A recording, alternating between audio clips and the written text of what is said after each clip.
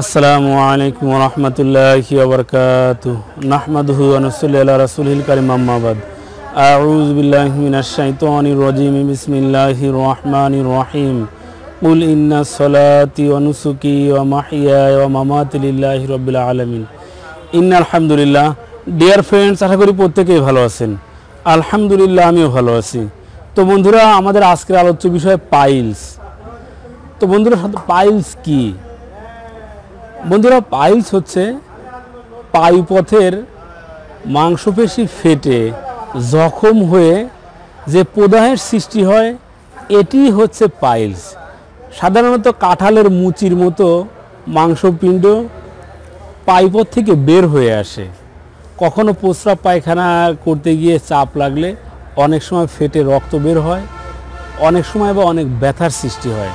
তো বন্ধুরা এটি মূলত পাইলস বন্ধুরা পাইপথের ভিতরে কখনো কখনো মাংসপিণ্ডের সৃষ্টি হয় বা কখনো গুটির সৃষ্টি হয়।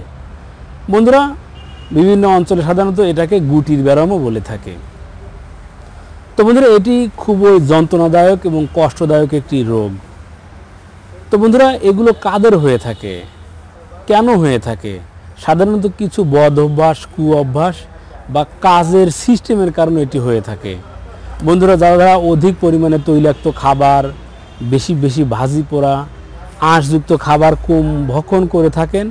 যাদের কনস্টিপেশন বেশি বেশি হয়, তারাই সাধারণত এই রোগের ঝুঁকিতে বেশি থাকে। আর পেশাজীবীদের মধ্যে যারা অধিক পরিমাণে দাঁড়িয়ে দাঁড়িয়ে কাজ করে থাকেন, সেই সাথে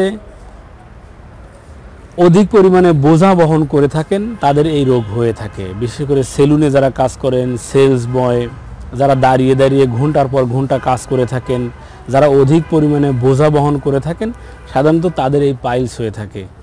তো বন্ধুরা, আর যেহেতু কনস্টিপেশনের ফলেই এটি অধিকাংশ সময় হয়ে থাকে, যখন মানুষ টয়লেট সারতে বসে, তখন মাধ্যাকর্ষণ শক্তির বলে সব কিছুকে পৃথিবীর দিকে আকর্ষণ করতে থাকে। আর আপনি যদি মল ত্যাগ করতে গিয়ে, প্রস্রাব পায়খানা করতে গিয়ে অধিক পরিমাণে চাপ প্রয়োগ করতে থাকেন তাহলে মাধ্যাকর্ষণ শক্তির বলে একদিকে পৃথিবীর দিকে সব কিছু আকর্ষণ করছে, সেই সাথে আপনিও চাপ প্রয়োগ করছেন। ফলে খুব দ্রুতই কিন্তু আপনি পাইলসে আক্রান্ত হতে পারেন। তো বন্ধুরা, যাতে প্রস্রাব পায়খানার স্বার্থে কোনো রকম চাপ প্রয়োগ করতে না হয়, এমন অবস্থা রাখবেন। অর্থাৎ প্রচুর পরিমাণে আঁশযুক্ত খাবার খেয়ে, ইসুপগুলোর ভুসি খেয়ে আপনি সব সময় পায়খানাকে নরম রাখবেন। তো বন্ধুরা, এটি হচ্ছে prevention is better than cure আর যারা এই পাইলসে আক্রান্ত হয়ে গিয়েছেন, তারা কীভাবে এই পাইলস থেকে মুক্তি পাবেন, আমি আপনাদেরকে সেই ভেষজটি বলে দিচ্ছি। আর সেই ভেষজটি হচ্ছে ক্ষুদ্র ধুতুরা, অথবা যেটিকে বলা হয় আগ্রা। আপনি ক্ষুদ্র ধুতুরা লিখে সার্চ দিলেও আসবে, সেই সাথে আগ্রা লিখে সার্চ দিলেও এটি চলে আসবে। সাধারণত ঝোপে ধারে পর্যাপ্ত পরিমাণে হয়ে থাকে রাস্তার ধারে।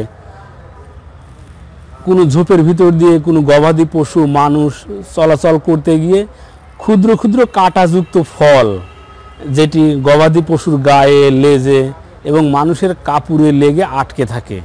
তো বন্ধুরা, এটি আপনার দেখলেই বুঝতে পারবেন, সার্চ দিলেই পাবেন। তো বন্ধুরা, এই ক্ষুদ্র ধুতু, ধুতুরার ছোট অল্প বয়সী চারা বা গাছের শিকড় পঞ্চাশ থেকে একশো গ্রাম নিয়ে পরিষ্কার করে ধুয়ে ভালোভাবে পিষে নেবেন। ভালোভাবে একটি পেস্ট তৈরি করবেন। এরপরে পরিমাণ মতো মধু। যদি কারোর ডায়াবেটিস থেকে থাকে, মধুর প্রয়োজন নেই। সরাসরি এমনি সকালে খালি পেটে, রাত্রিতে খাবার পরে। এইভাবে একশো গ্রামের পেস্ট দুইবার সেবন করলে ইনশাল্লাহ খুব দ্রুতই আপনার এই সমস্যার সমাধান হবে। তবে একদম স্থায়ী সমাধানের জন্য আপনি এক থেকে দুই মাস পর্যন্ত সেবন করতে থাকুন। ইনশাল্লাহ আপনি সুস্থ হবেনই।